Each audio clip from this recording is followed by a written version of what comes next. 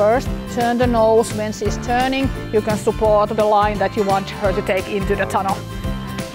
Look at her eyes and just handle the turning. Hand down.